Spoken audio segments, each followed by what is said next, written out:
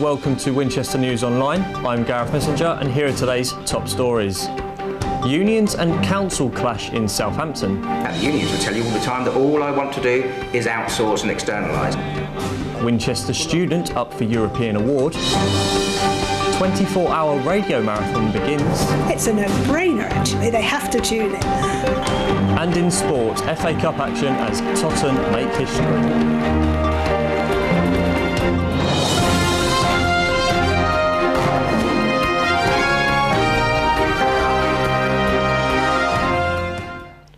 But first, figures released today by the Office of National Statistics shows youth unemployment in the UK has reached 1 million. To tell us more is our news editor Rebecca Gray. Some quite shocking numbers there, Rebecca. Yes, Gareth, this is a 17 year high and means that 21.9% of 16 to 24 year olds are unemployed. The highest since comparable records began in 1992. Chris Grayling, the employment minister, has blamed the figures on the crisis in the Eurozone. However, the rest of Europe is just as affected. Spain's youth unemployment is currently around 45% and Greece is at 42.9%, with the European average at 21%. OK, Rebecca, can these figures be broken down locally? Yes, in Hampshire between January and September this year, youth unemployment in Winchester rose by 100%. However, in Southampton's test constituency, there was a 125% increase. OK, thank you very much, Rebecca. We will be bringing you more on that story as it develops. Southampton City Council has once again found itself in a war of words with local unions. Following a summer of dispute, the council is now looking to privatise local services across the city. Lewis O'Brien reports on the latest chapter in this ongoing debate.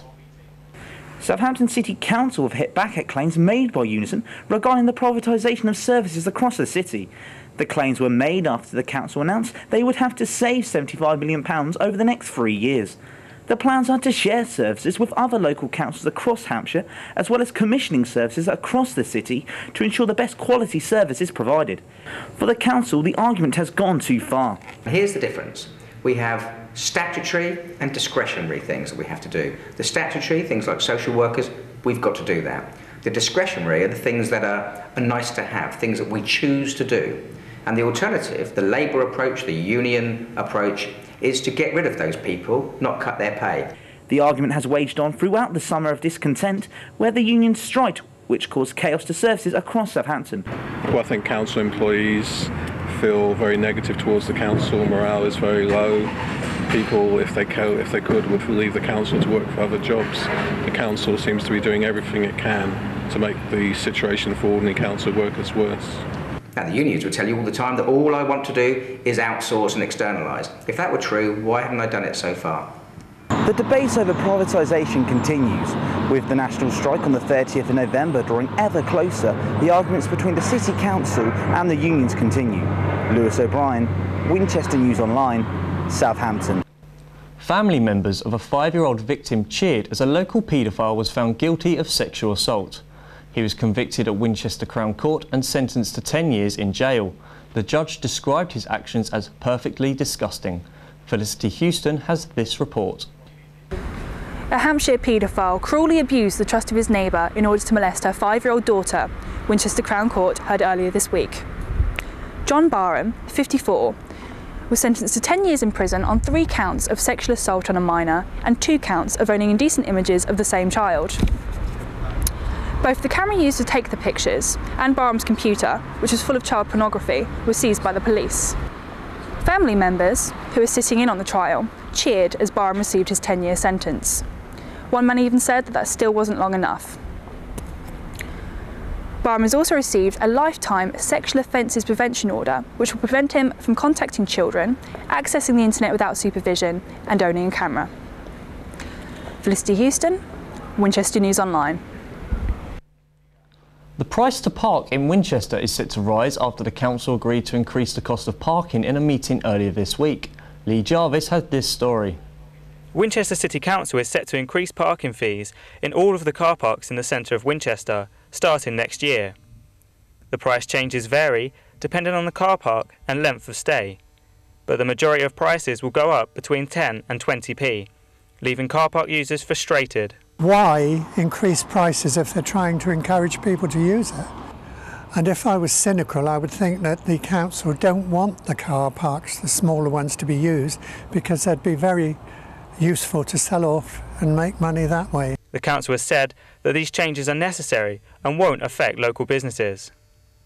They're not all increasing. Uh, it's, it's an adjustment.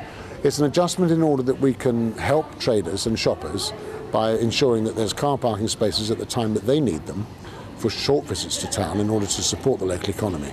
It's an adjustment through financing, which, which is there to encourage people to change their habits. The rise will come into effect in January next year. Lee Jarvis, Winchester News Online. Winchester graduate Shira Pinczuk has travelled across Europe for a prestigious awards ceremony. Her film Karet has been nominated at the New Now Festival in Estonia. Hannah Keegan finds out more.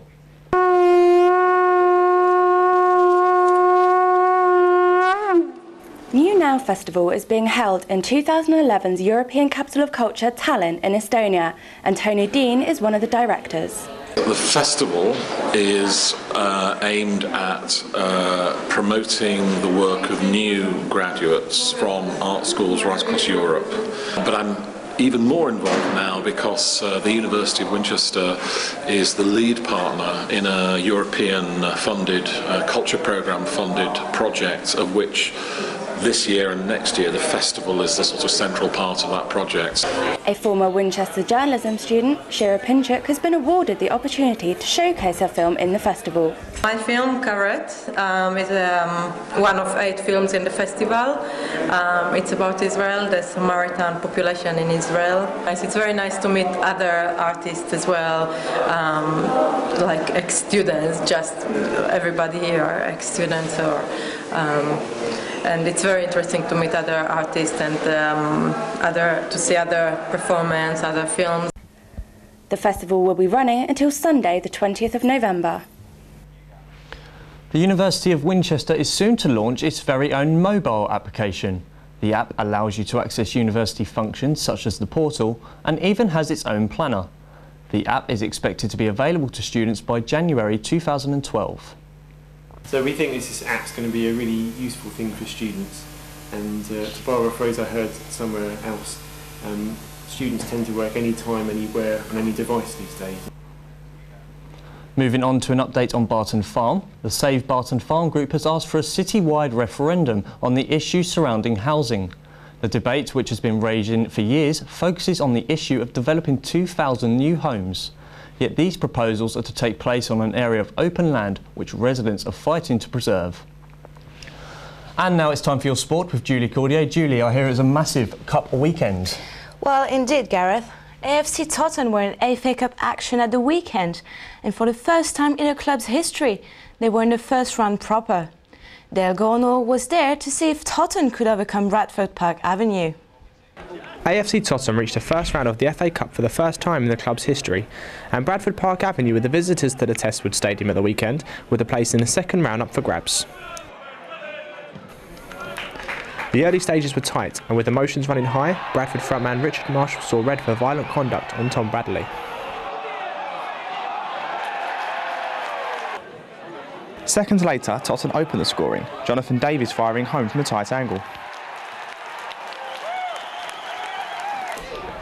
The Stags were given a chance to double the lead from the spot when Nathaniel Sherborne was bundled over. Mike Gosney tackled away the penalty.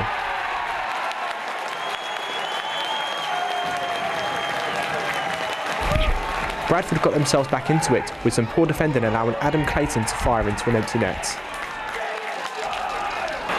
The hope lasted only two minutes though, Michael Charles tapping home to reinstate the two-goal advantage.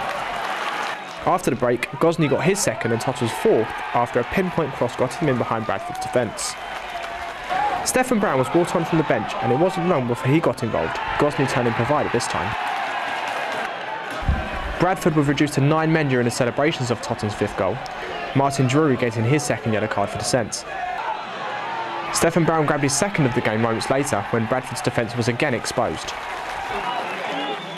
Brown then knocked in his third, scoring the quickest hat-trick in the FA Cup from a substitute ever, making it 7-1 to the Stags.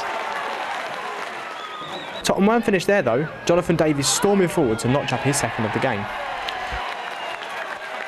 There were jubilant scenes at the end, with Totton running out 8-1 winners, setting up a tie against Bristol Rovers at home in the next round. After the game, hat-trick hero Stephen Brown told us how he felt.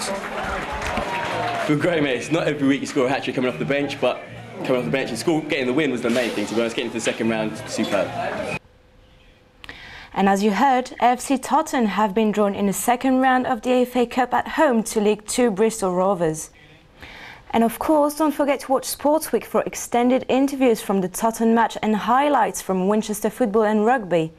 Also featuring the Basingstoke Bison, where one of our reporters even braved the ice himself. That's all for sports this week. Back to you, Gareth. Thanks a lot there, Julie. It sounds like a very exciting time at AFC Totton. Winchester Sound Radio is beginning its largest ever broadcast in the name of charity.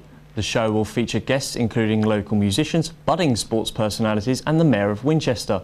Tom Morgan went to see the preparations. Winchester University's very own Sound Radio will be broadcasting live for 24 hours.